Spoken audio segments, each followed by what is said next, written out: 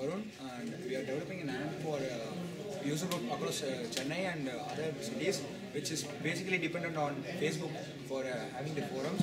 Uh, so the thing is, we are uh, grabbing the Facebook Graph Facebook feeds from their group using a API called Graph API, and we are uh, overimposing with our styles and style sheets, and we are making it an app so that we can grab all those feeds into a single app and uh, we can combine all those uh, group into single uh, single app.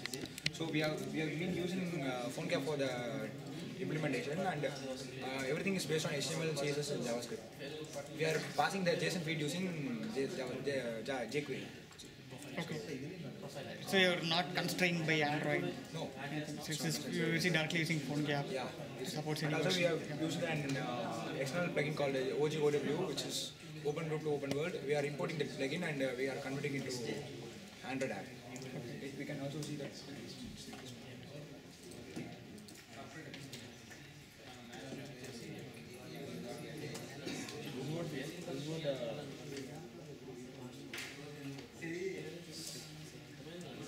plugin you are using.